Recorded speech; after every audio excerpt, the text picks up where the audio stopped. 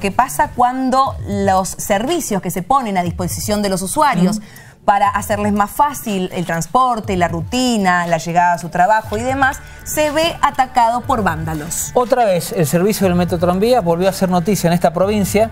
Esta vez, ahora, fue por el ataque de dos inadaptados que pintaron con aerosoles una de las formaciones en tan solo 40 segundos.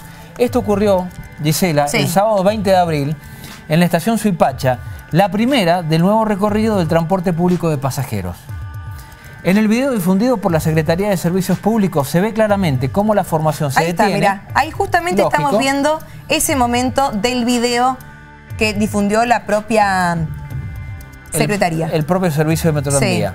Se ve a estas dos personas, dos jóvenes, que inmediatamente comienzan a pintar la parte delantera de la unidad. Bueno, obviamente que desde la Sociedad de Transporte de Mendoza aseguraron que no es la primera vez que esto sucede.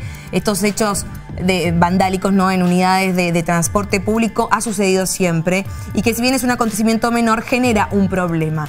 Pero esto ahí está, mira, sin tener una razón, ¿no?